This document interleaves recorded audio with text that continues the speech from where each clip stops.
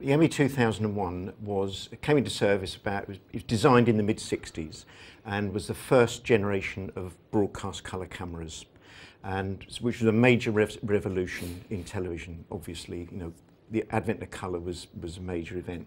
And that what made it possible over the black and white cameras was the invention of a much smaller tube um, the black and white cameras had a, a long tube, an image orthicon tube that was about that long for, for one colour, black, you know, monochrome.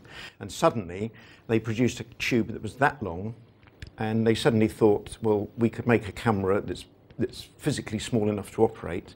And can I put the side up? And if you look inside, uh, this was, there were different designs going out, and you talked about Dave and the, the Philips cameras, the Pye cameras later on, but they came up with a unique design uh, to make the camera as short as possible, uh, which was very important in restricted space in studios. So although it's big, it's front to back length compared with other cameras like the Philips, which they had the lens bolted onto the front of the camera. They took the view with this one. We'll put all the, all the tubes, the, the, there are two, four tubes this camera had, three colours, red, green, blue, and a luminance signal, which gave you the black and white signal, different to that one, to Dave's one.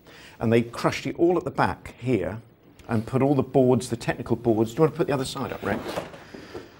On that. So there are two tubes this side, um, and it's the red and the blue, and round here. You've got the other two tubes the there. other two tubes there. And all the technology and all the servos associated with the lens, which is here, uh, are, are round it. And the reason for that is that rather than sticking the lens on the front, they left a hole in the middle and the lens slid into the body of the camera to make it shorter and more manageable.